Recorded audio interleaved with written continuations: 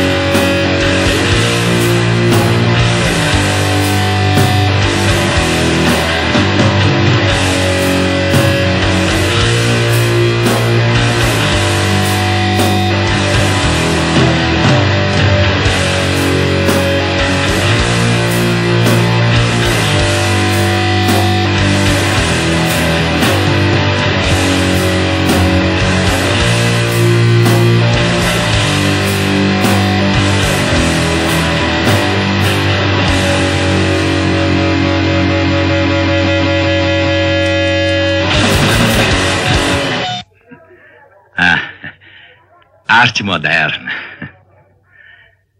É o que sempre digo. Coisa de depravado. Lixo. Lixo. Mas só aquele quadro valia mais de 5 milhões. Ah, é isso mesmo. Quanto mais podre, mais caro. Por mim, eu mandava juntar tudo isso e botar fogo. Admito tudo menos essa laia de parasitas intelectuais.